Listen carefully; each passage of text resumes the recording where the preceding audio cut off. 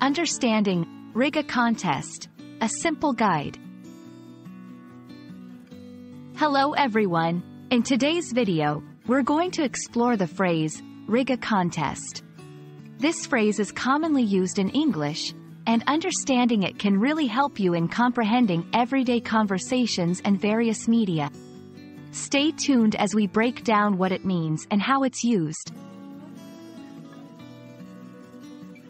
Rig a contest refers to manipulating or setting up a competition in a dishonest way to ensure a particular outcome.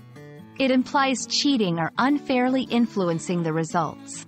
This phrase can be used in various contexts, from sports to elections.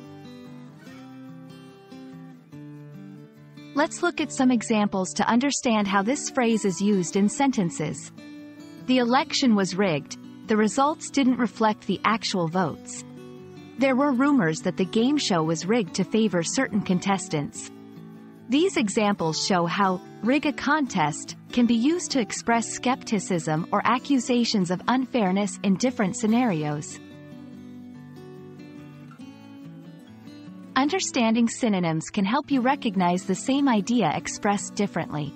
Here are some synonyms for rig a contest, fix a game, tamper with results, manipulate a competition. Each of these phrases carries a similar meaning but can be used in slightly different contexts.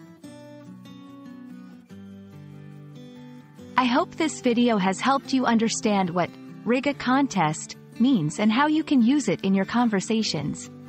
Remember, language is all about understanding the nuances, and phrases like these are key to fluent English. Until next time, Keep practicing, and don't forget to subscribe for more helpful language tips.